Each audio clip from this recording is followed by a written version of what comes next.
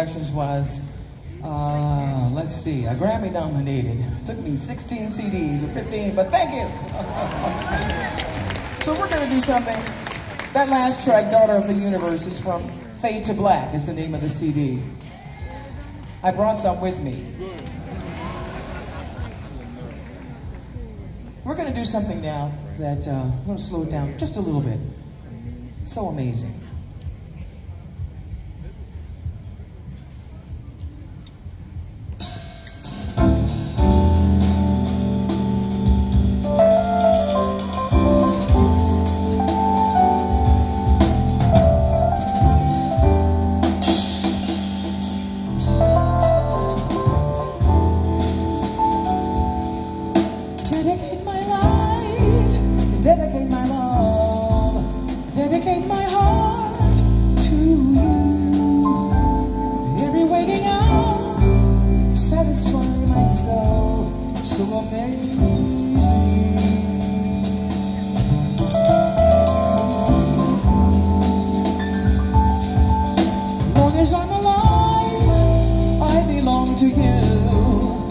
Do anything you want me to.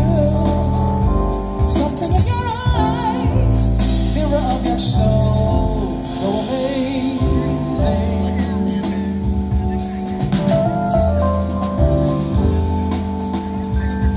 All through the years, eternally,